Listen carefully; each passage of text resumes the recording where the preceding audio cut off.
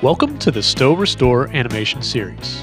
This video guide will walk you through a simple and effective method for repairing major cracks in the surface of exterior insulated finished systems. In this video, we will repair an area where a crack has occurred due to base coat being forced in between the EPS joints. You will need the following tools materials to execute this repair. Water-based, gel-type paint remover, masking tape, Sto RFP base coat, Sto mesh, Sto finish, clean empty buckets, and low expanding urethane foam.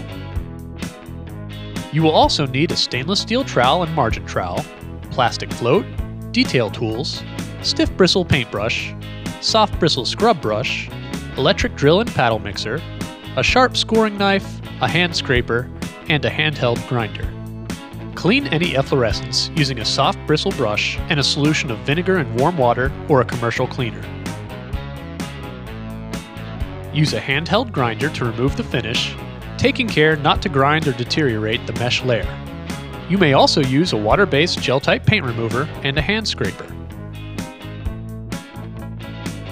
If the cause of the crack is a gap between the EPS board, remove the base coat from within the gap and fill the gap with wedge-shaped EPS slivers.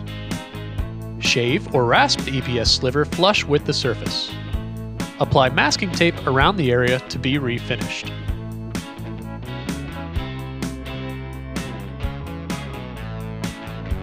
Next, apply Sto RFP base coat and embed reinforcing mesh in the base coat with the mesh centered over the crack, maintaining a minimum 2.5 inch overlap on the adjacent mesh.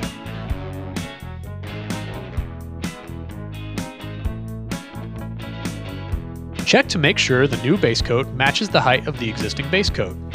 Let it dry. Next, apply finish.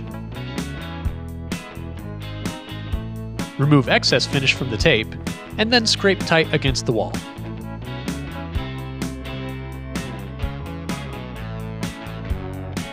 Float with a plastic float to match the adjacent texture, and then remove the tape from the perimeter.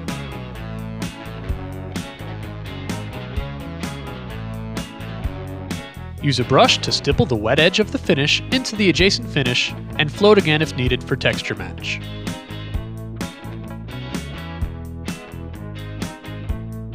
The repair is complete. For additional information on recoating your building with one of Sto's functional coatings or receiving a color consultation from Sto Studio, please contact your local distributor or Sto sales professional. Additional repair videos can be found at www.stocorp.com in the videos section.